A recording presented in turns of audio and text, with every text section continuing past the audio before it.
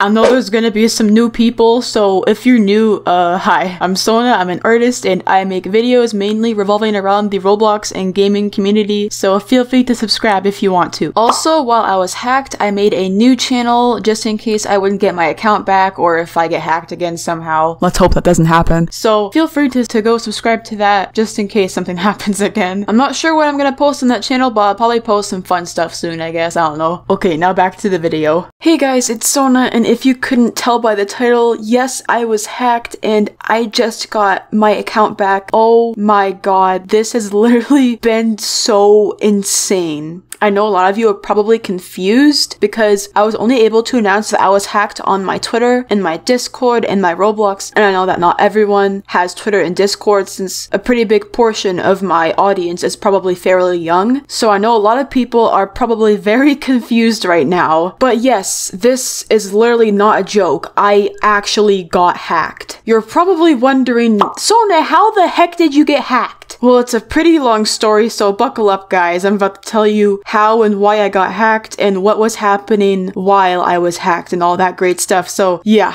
So, I'm gonna say, like, probably a week and a half ago or so, I was reached out on my business email for a sponsorship. Now, if you guys don't know what a sponsorship is, uh, when a YouTuber has a has a decent following, there will be companies that reach out to them for sponsorships. They make an ad for those companies on their channel and they just advertise whatever they want them to advertise and they pay you for it. And this sponsorship was the first sponsorship that has ever been offered to me, so I didn't know really anything about sponsorships. Of course, since making money on YouTube has been hard lately, I was very excited for my first sponsorship and I read the email and it said this Welcome to the world of Mortito. We are a young game development studio. Since 2019, we have been developing many projects and one of them has been released on Steam. Our game Mortito already amazes many people, but we need fans. We are ready to purchase ads on your channel. So if you are interested in our offer, just let us know. Sincerely, Big Game Studio Team. Okay, so first off, like I've never heard of this company before and I'm sure neither of you have either. Like they claim to be a small company, quote unquote, but like they're probably fake. I have no idea. Like I'm not gonna say much, but all I know is that whatever company or person sent me this email had no good intentions. I responded to them telling them that I would look forward to working to them and I wanted to know more about the game, etc. Now, the next stuff they sent me is probably going to seem very confusing. Uh, I'm pretty sure English wasn't their first language, which was probably a huge contributor to this being really hard to read or understand in general. So the next thing that they replied was, cooperation with us is a very simple thing. The most important condition is a real interest in the game and not just recording of the gameplay with a voice. We will send you a sample scenario with these is, whatever that means. Give the game. You only have to play the game and you will not notice how you start to say how good this game is. And I don't really know what that means. Like, I scratched my head reading that. I had no idea what that meant, but I just brushed it off. This is not a joke. This game is really very interesting. Let me know where it is more convenient for you to continue the dialogue. Discord, Skype, WhatsApp? Okay, I'm just gonna say right now, I should have seen this as a red flag when I first read this because the way they worded this made no sense. They were talking about how interesting the game was, yet they didn't tell me a single detail about the game besides its name. So me and my boyfriend decided to do some research on the company and the game because obviously we wanted to know more about it and we wanted to see if it was fishy, if it was safe, or stuff like that. And we went onto the website and it looked like a legitimate thing. Like they had a thing for the game, like a trailer, they had a website. It looked legit, like it looked really real and convincing, so we thought that it was okay. Gabe even looked it up on YouTube and there's even some let's plays of the early access or whatever you call it. So again, we were pretty convinced that this was fine. Another red flag that I should have noticed is that she asked to uh, communicate on Discord, um, which was really weird because I didn't know that, you know, companies would communicate about professional stuff on Discord, but apparently this person does. But again, at the time, I didn't see it as a red flag and instead I saw it as very convenient considering the main place I talk on is Discord. So we both added each other on Discord and their name was really weird. I'm not gonna give their tag because I don't want anyone trying to look for them or like harass them or anything like that, but they named themselves Holly Manager with a picture that looks like it is clearly stolen from Google. But again, I just gave them the benefit of the doubt and I really shouldn't have. Like, this looks so fake. Me and Gabe even joked about how fake it looked, but we just brushed it off. But what I should have found a bit fishy is that literally one of the first things that she asked me is, Have you ever done a sponsorship before and do you know how this works? And I was like, No, this is my first time being sponsored by anyone. And what's really hilarious is literally her reply was, Well then, your first experience will be the most interesting. The most interesting. Oh yeah, Holly manager. My my first experience was indeed very interesting for very obvious reasons. So we talked about how the sponsor would go for a bit and it seemed pretty normal. We talked about the price and she actually offered a really crazy amount of money and I I didn't see it coming. Like I I just thought that it was normal for my statistics and how my channel has been doing lately. So I didn't think it was completely too good to be true. And after I saw how much she offered, I got got extremely happy because what she offered was more than I make in like two months. So I was like, heck yeah, I'm definitely gonna do this sponsor. Bad idea. So she was like, okay, cool, we're gonna give you early access to the game because it has not yet been finished yet. And I was like, okay, cool. And here comes the part that I regret so, so bad, and I should not have fell for this. This is the part where it goes wrong really, really fast. So she sent me a link for quote unquote early access of the game. So I clicked on it and it brought me to this downloadable file for early access of the game. Again, I didn't know how to tell if a file was bad or not, and I had my boyfriend look into it a little bit with me, and since we've never had any experience in this and we didn't know any better, we thought that it was fine, which was a huge mistake. So having no idea what was about to happen to my channel, I downloaded the file for quote unquote early access of the game. And then we extracted all the stuff that we needed to to make it into an application so that we could play the game. And then when we went to open the game, it didn't open. My boyfriend tried several times to open the file and just uninstalled it and reinstalled it again and it just wouldn't open. So I told the Holly girl that sent me the link and she was like, oh, Oh, okay. Well, we will try to fix it. So she sent me another link a little bit later and she claims that it was fixed. So we downloaded that and still the exact same thing happened. So me and my boyfriend were getting pretty worried and suspicious. So we asked her, um, why it wasn't working. We told her that it still wasn't working and she just said, oh, okay. Well, we can't figure it out. So we're just gonna have Steam help you with the rest of the process and we will automatically pay half of the payment without you having to do an advertisement. And I was like, what? That doesn't make any sense. What? I was like, okay, so you're telling me that just because your game file isn't working, instead of just canceling the sponsorship, you are going to have Steam fix it for me, and therefore you are going to automatically give me half of the payment without me even having to advertise. And she said yes. And I was like, uh, okay. And since we wanted the full payment, we still, we asked if we could still do the advertisement and get the other half of the payment. And this should have been a red flag, but Holly said, yeah, if you still want to. What the heck kind of response is that? If you still want to? Like, what? Th- like, I should have seen this coming. This made literally no sense. But again, I was just, I was just so naive. Like, I didn't know what I was doing. I thought it was fine. So she told me that Steam would be in contact with me tomorrow in order to help me fix the file. So I was like, okay, cool.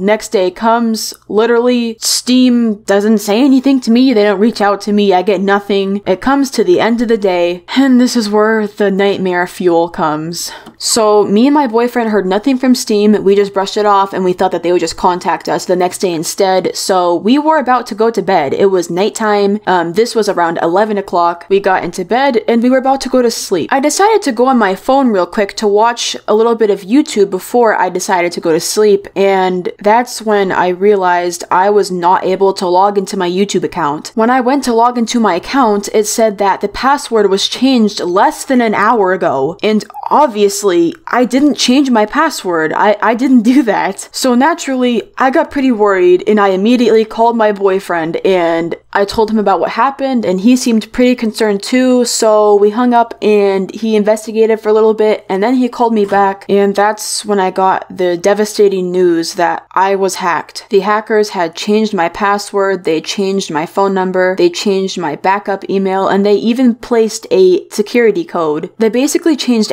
everything so that there was no way that I could get back into my account. My boyfriend and I knew it was them because when he went to check the backup email, it said Big Games was the backup email and that was the name of the company. When we found out, we were freaking out really bad and I was panicking so much. And I immediately hopped onto Twitter and I made this post. If you want, you guys can pause it and read it. I know many of you have seen this already, so I'm not gonna bother. But yeah, needless to say, we were freaking out really bad. You know, I was terrified. I had no idea what they planned on doing with my account. And keep in mind, this was like late at night. This was around 11 o'clock. We were about to go to sleep, so there wasn't a whole lot that we could do. I also made an announcement on Discord warning everyone, and I really, really wanted to make an announcement on YouTube to warn my fans just in case the hackers posted any scam links or anything like that. But as I said, I had no access to my YouTube account, so I was unable to warn anyone, and it was, it was awful. I felt horrified because I couldn't warn my fans. I tagged Team YouTube in the Twitter post, and aside from that, there wasn't really that much that I could do. It became around 2 in the morning and I was still super paranoid and scared, obviously, but I didn't really have much of an option, so I tried my best to go back to sleep with my boyfriend. The next morning, I went on my account and I immediately checked to see if anything had happened to my channel. Surprisingly, nothing did. YouTube saw my post and reached out to me on Twitter, and to be honest, not a whole lot was done. The replies were very slow, and whatever they sent me to try to cover my account, it didn't work, so I had to wait. For the past few days, I made many posts and I was trying to spread awareness, and a lot of other people were spreading awareness too. For the next few days while I was waiting, I was extremely depressed. I became very unmotivated and miserable because my YouTube channel was my passion and that was just ripped right away from me and it felt terrible. I cried a lot and I just felt extremely unhappy and I just didn't know what to do. I felt lost and I felt alone. And I can say without a doubt that it was one of the most stressful, depressing, and anxiety inducing things that I have gone through in a very long time. And the only thing I can really do is make vent drawings to cope with how depressed I felt. While the process was still very slow, I kept constantly contact with YouTube for a few days, and luckily, a lot of people were talking about it and spreading awareness about it on Twitter. The whole situation was seriously taking a toll on my mental health, so I announced that I was going to be taking a break from Twitter. But that break did not last for long because on the same day that I took a break, at 9 o'clock, something absolutely terrifying happened. I was just talking with my sister after I ate dinner, and then I went to check on my YouTube account, and they changed the profile picture and privated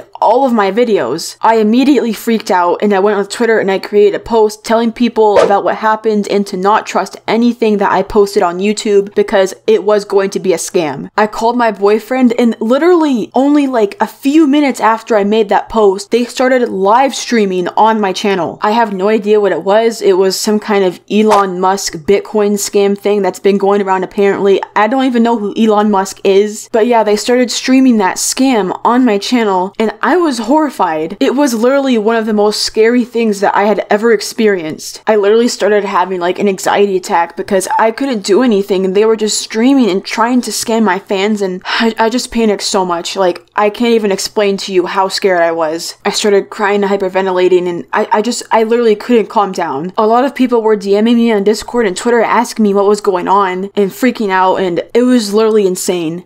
Luckily, the live stream wasn't up for that long and it was was soon taken down by YouTube, along with my channel being completely terminated. And real quick, I just wanted to say, why the heck would they do that kind of scam? Like, don't get me wrong, I'm happy they didn't do a more effective scam or anything like that, but literally, what makes them think my audience of kids who play Roblox is going to fall for some kind of Bitcoin scam? They probably don't even have Bitcoin. I was freaking out, so I reached out to Albert on Discord, and he didn't even have to, but he literally made a post um about me like getting hacked and like the whole live stream and stuff, and he tweeted at YouTube, and a ton of people saw it. And I just want to say, Albert, thank you so much for doing that. Like that spreads so much awareness. A crap ton of other Roblox YouTubers and just random people in the Roblox community also started messaging me as well on Twitter, asking me if I was okay, asking me what happened. You know, everyone was supporting me, and it felt amazing. Minitoon also made a post about it. Chloe Games made videos on it.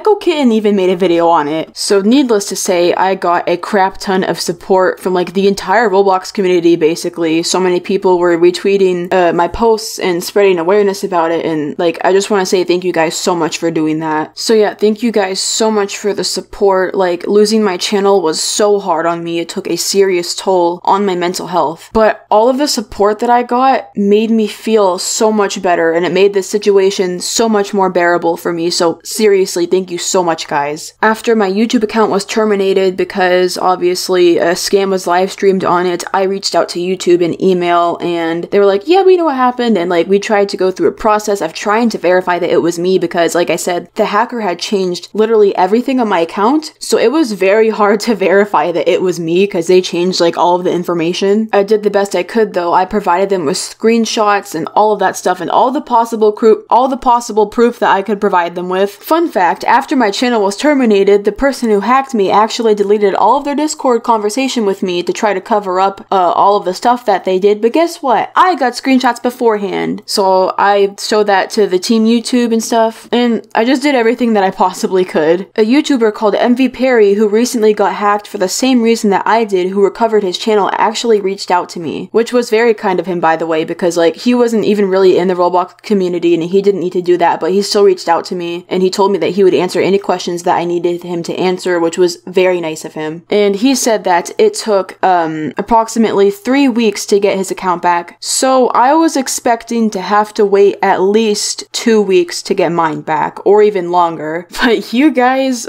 will literally not believe this. Actually, yes, you will because I'm making this video. But literally, I got my Google account back for my channel a day after my channel was terminated. I am not joking. This is real. I got this back a day after it was terminated. I was in complete shock because previously, like not even that long before that, um, while I was trying to verify it was me, it was really seeming like I wasn't able to verify myself, but they randomly gave me my account back and I was just, I was so shocked that I got it back so soon, but I was obviously really happy about it. I reset my password to my account. I changed everything that the hacker had changed and oh my god, logging back into my account, I cannot even begin to describe how relieving and amazing that made me feel. And I'm almost positive the reason I got it back so soon was because of all the awareness that you guys have been spreading. Like if it weren't for all of this that you guys have done for me, like spreading awareness and stuff, I'm not sure how long it would have taken for me to get my account back. You know, most YouTubers would probably have to wait weeks or even months, but I had to wait a day after it got terminated. So I'm just so thankful for that. Like, thank you so much, guys. You made this happen. I also want to give a huge thanks to my boyfriend. Like, he was having a hard time during this too because obviously I was really depressed. I'm sure I was very hard to deal with, but he supported me the best that he could. And like, I love him so much. Please send him love. I'll link his channel down in the description of this video. But yeah, without him, it would have been so much worse to go through. Fun fact, there was people who actually thought